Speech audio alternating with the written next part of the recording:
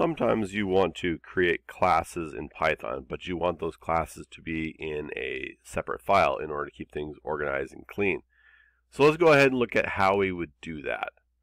So I will go ahead and create a text document right here. And my text document is going to be called my classes.py. And then I'm going to have some kind of a program as well that will run this um, classes py thing. So I'll do program.py. And program.py is going to load or import my classes. So I'll go ahead and open that with Notepad++. And you can see that um, I'm also going to open up the program as well. And so now you can see classes.py py and program.py both here. So I'm going to create a simple class.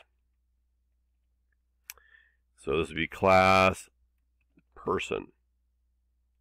And in my person class, I'm going to have just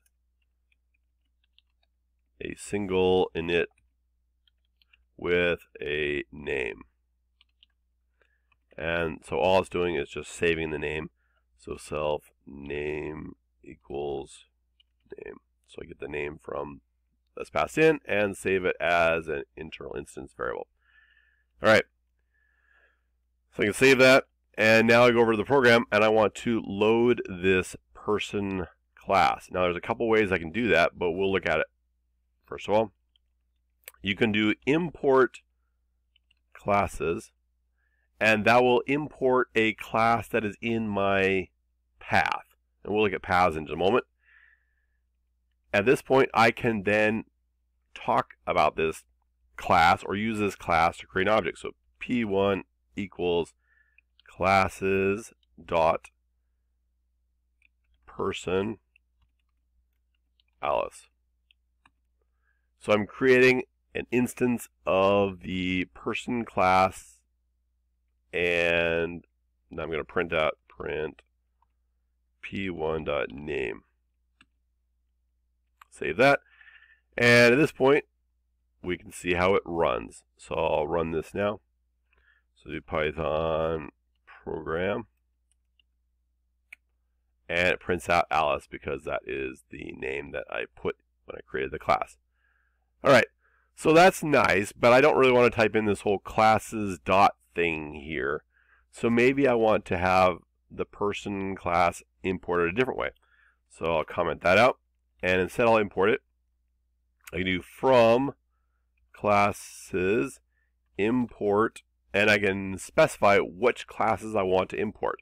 I could do person person if I wanted or I could just say star if I want to import all of the classes or everything inside of that classes module but I'm going to do person right here so now because I have person imported, I don't need to specify it's part of classes. I can go directly right here, save that, and I just need this person and pass in the value and run it.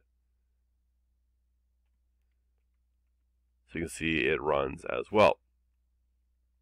But sometimes your code gets really complex and you want to have this classes file somewhere else. So go ahead and close that. And let's go over this directory. And we're going to now create a new folder right here. And we'll call this um, our um, maybe include so our include directory. And let's say classes gets moved into include and by the way, these uh, PyCache things are created automatically whenever you import something. Um, you can leave them there or you can just delete them whenever you want. It's fine. They just get recreated, recompiled at startup time. So now inside of include, I've got this classes thing. If I were to try running it now, because it's no longer in the same directory, I try running it and it says that it's no class module thing right here called classes, which is frustrating. So the question is, how do you get that back? Well, I go in here and now I need to add it to my my path. So I'm going to import sys and then before I can import this class thing, I'm going to add it to the path. And it was the include directory. So I do sys path append and then I give it the directory that I'm going to append, which in this case is include. Includes, I believe. Let me check and see. It was include, just include. All right. So just include right there. You can specify the complete directory. Um, you know, start with slashes or start with um, drive letters if you're on Windows. Either way, you want to include this path, and then you can import it. So I'll go ahead and save that. And let's go ahead and run it now.